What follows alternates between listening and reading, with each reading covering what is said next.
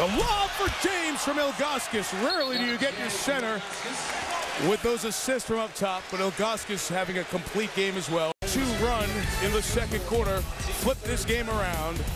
LeBron a triple-double. 20 points, 10 boards, 10 assists, and another elimination of Washington.